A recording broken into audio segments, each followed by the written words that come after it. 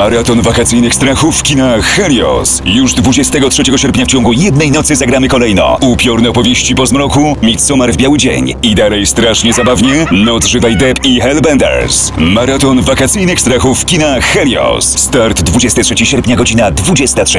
Więcej na helios.pl